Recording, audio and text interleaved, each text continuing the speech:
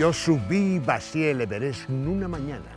Y tuve que volver a subir de tarde, porque dejéme el móvil olvidado una pica. Yo fui picador na mina, y para baixar a la galería, hacía cada día un furaco nuevo. Abocaos.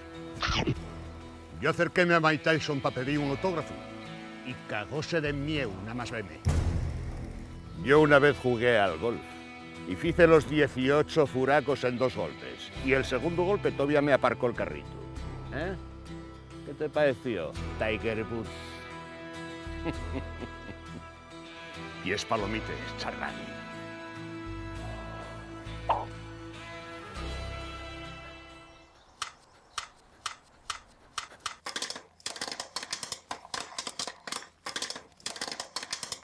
Y ahora, un par de entraes para Titanic.